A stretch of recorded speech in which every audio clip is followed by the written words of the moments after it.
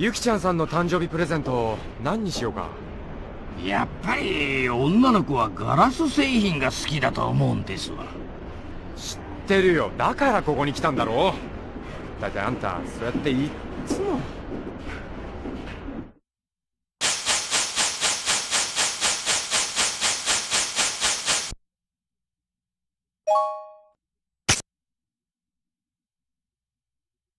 ナイスキャッチ。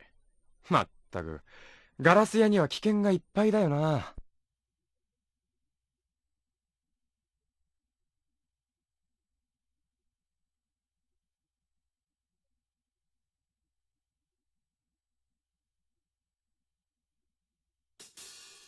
あの、ありがとうございます。私、ターニャ・リピンスキーです。その花瓶、私が作ったんです。お気に入りの作品だから、壊れたらきっとすごく悲しかったと思います。本当に、ありがとうございました。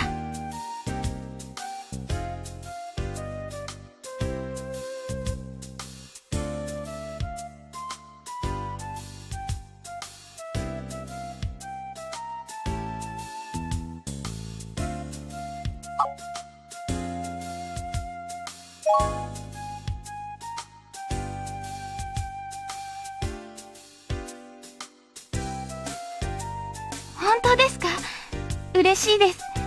私の作品をそういう風に褒めてくれた人はあなたが初めてですよ。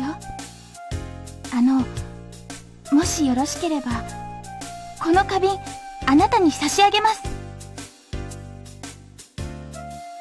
気に入ってくださった方に使っていただくのが一番です。それに、もともとあなたがいなければ、この花瓶は誰にも使われないまま壊れていたところですから。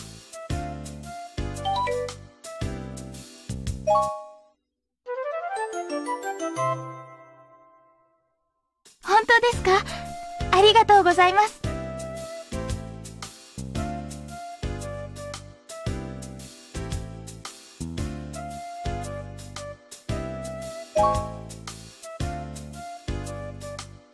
はい。あ、私、そろそろ工房に戻らなければなりません。今日は本当にありがとうございました。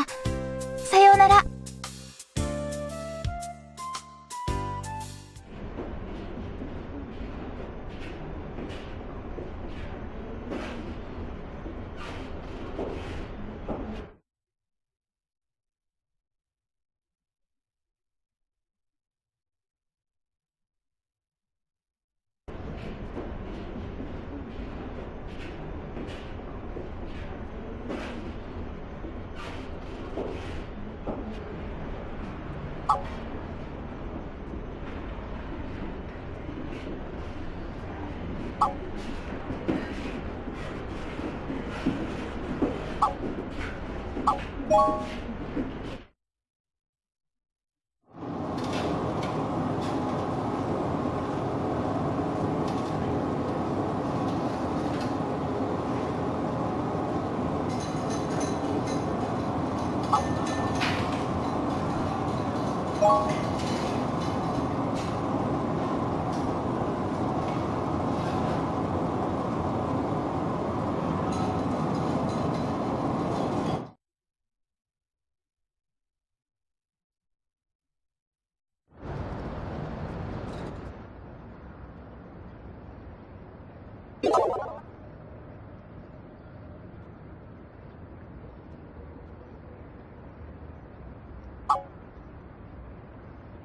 あ!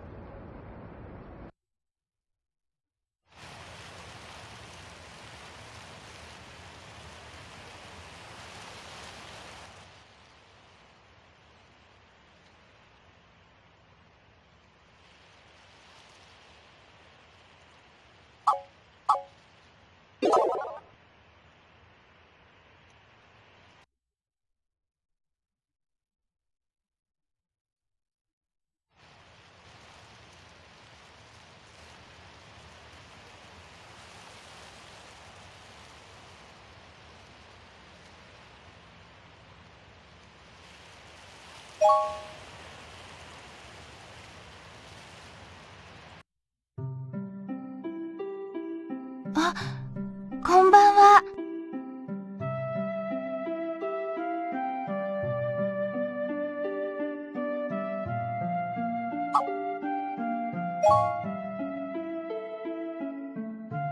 夕焼け、好きなんですか？私も大好きなんです。自然が作り出したあったかい色。この赤い色がどうしても出せなくて。ツビエッザッカータ。夕焼けの色。私、この色をガラスで表現したいんです。澄んでいて、暖かくて、優しい赤。私、ロシアのナホトカで生まれて、12歳の時、日本に来ました。それから4年間、運河工芸館で働いています。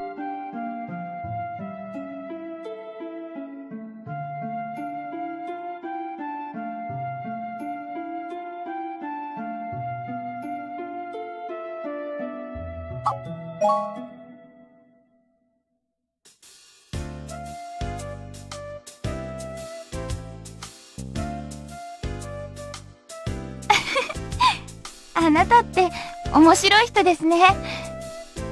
それじゃあ、夕日が沈まないように捕まえておいてください。私、その間にガラスケースを作ります。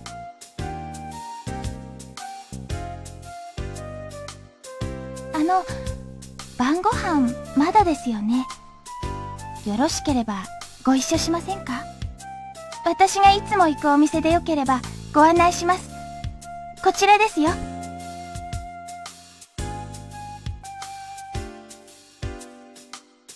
ここが私のよく来るお店、喫茶エンゼルです。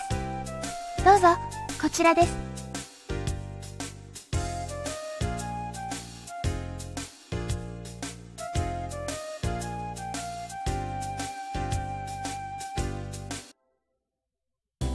ここの喫茶店、大好きなんです。ガイドブックに載るようなおしゃれなお店じゃないけど、すごくあったかいお店なんです。初めてこの国に来た時日本語のわからない私にロシア語の辞書を引きながら一生懸命話しかけてくれたのがこのお店のマスターでした。おしゃれな店でなくて悪かったね。あマスター聞こえちゃいました？聞こえるも何も。見ての通り他に客なんていないからね。はいどうぞ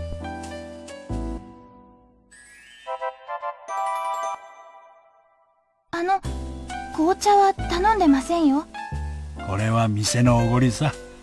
ターニャがこの店に友達を連れてくるなんて初めてのことだからね。ありがとうマスター。これロシア紅茶ですね。ああロシアじゃ紅茶にイチゴジャム入れて飲むんだろ？それ聞いて早速真似してみたんだ。どうだい？うまいかい？はいふるさとの味です そりゃよかった。明日からこれ新メニューにさせてもらうよ。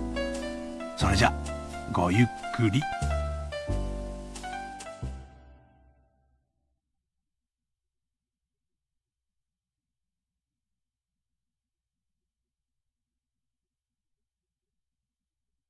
私の宝物見せましょうか。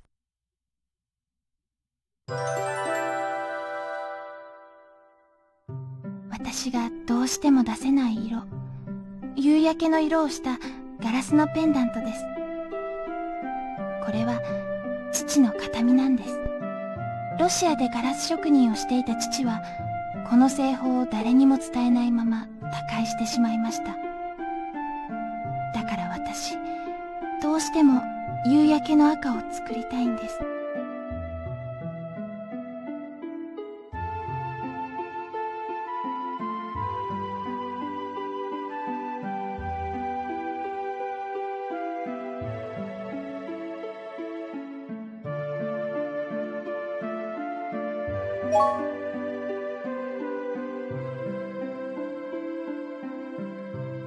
ありがとうございます。でも、これは私自身の問題ですから。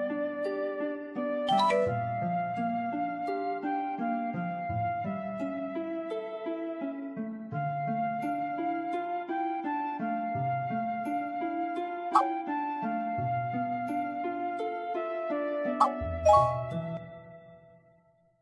仕事はとても充実しています。私には目標がありますから。あもうこんな時間札幌でしたよね。駅までお送りします。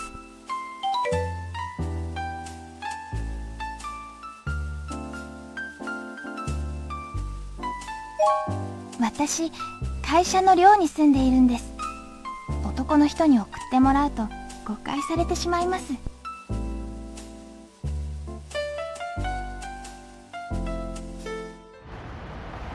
今日はとても楽しかったです。それじゃあさようなら。